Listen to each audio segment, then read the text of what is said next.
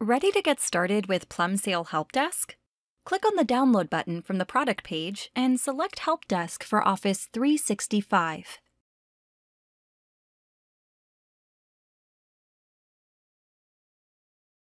When you run the file, it will set up the Help Desk installation wizard on your desktop.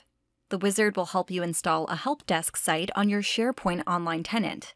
If you wish to have separate Help Desk systems, for example, one for your customers and one for your internal use, you can use the wizard to install as many Help Desk sites as you want.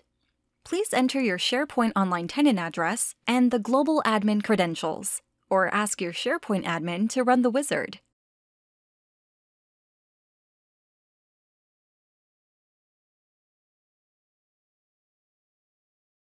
Enter the name for your help desk site.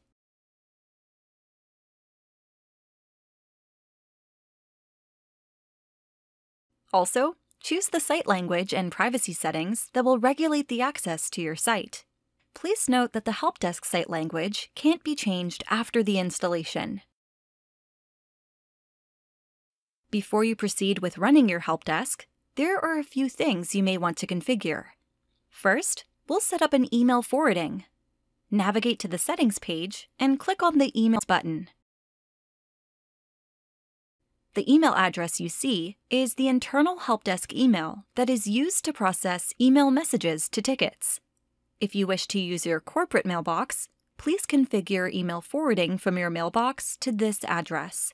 You will find a link to the instructions on how to set up email forwarding for some of the most popular platforms here. For more details on email configuration, watch the next video on setting up the support channels. On the Settings page, you only need to enter your email address as reply to address. When your customers receive the email from the ticketing system, they will reply to your own mailbox.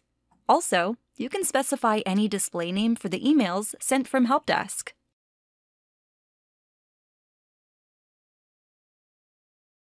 Now, We'll create the agents to process the tickets and interact with your customers. Navigate to Contacts and click on New. Overall, the help desk has three roles for the contacts. The end users are created automatically when a user submits a ticket for the first time. Those are the users outside your SharePoint tenant.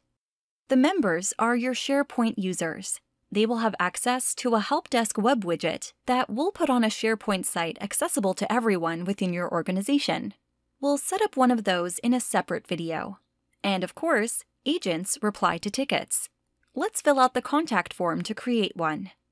By default, all the agents will receive a notification about the new ticket and will be able to assign it for themselves.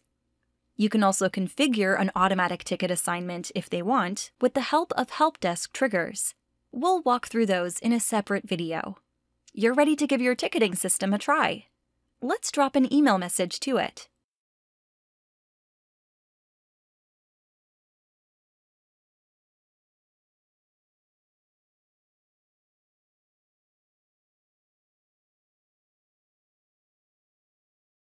You'll receive a notification about the ticket being submitted. Let your customers know that their message has reached its destination. Don't forget to log in using your Help Desk agent credentials.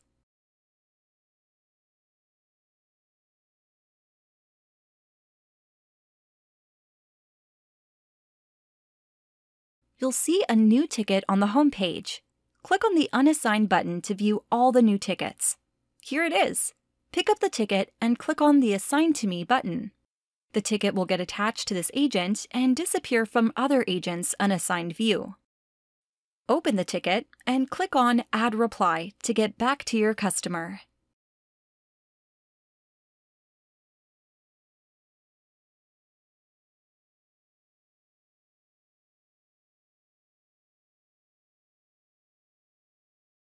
You can change the ticket priority, due date, and category.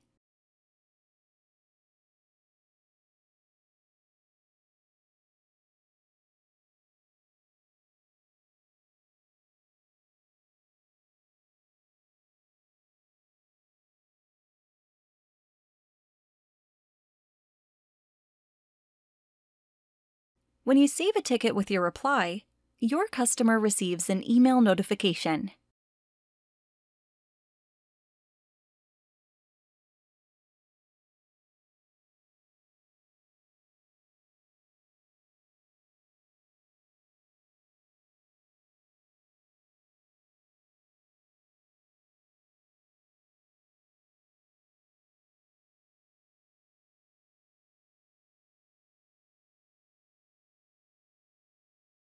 When the issue is resolved, you can save the ticket as solved.